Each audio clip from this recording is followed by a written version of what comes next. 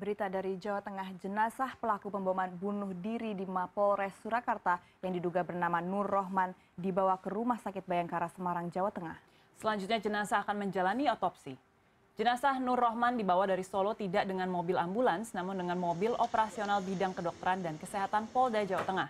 Setelah satu jam perjalanan, jenazah Nur Rohman tiba di Rumah Sakit Bayangkara Semarang pukul 14.45 waktu Indonesia Barat. Jenazah langsung diturunkan untuk diautopsi sesuai standar penyelidikan dan identifikasi. Jenazah terduga teroris Nur Rohman harus diautopsi dan dicocokkan DNA-nya dengan keluarganya.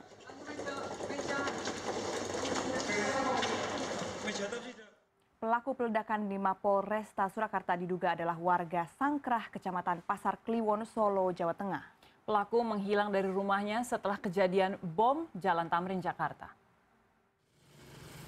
Lurah Sangkrah, Kecamatan Kliwon, Solo, Jawa Tengah, Singgih Bagiono membenarkan kalau Nur Rohman, pelaku bom bunuh diri di depan Mapolresta Surakarta tersebut, merupakan warganya.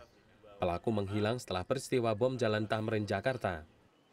Yang bersangkutan beralamat di RT 2, eh mohon maaf, RT 01 RW 12 Kelurahan Sangkrah.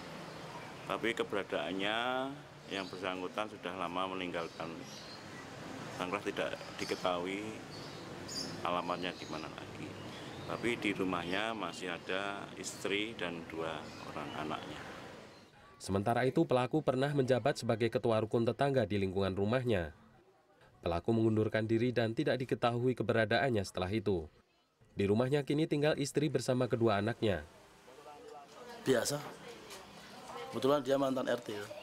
Jadi mantan ketua RT 1 RW 12. E, dengar kabar tidak percaya. Tapi begitu lihat foto dan KTP di di dalamnya juga kaget. Kok bisa kan gitu. Kok bisa seperti itu. Padahal kesehariannya biasa, kalau salah agama juga biasa tidak ada perbedaan sama sekali. Saat ini rumah pelaku kosong karena istri dan anaknya dibawa ke kantor polisi bersama dengan sang kakak. Onggo Broto, Solo.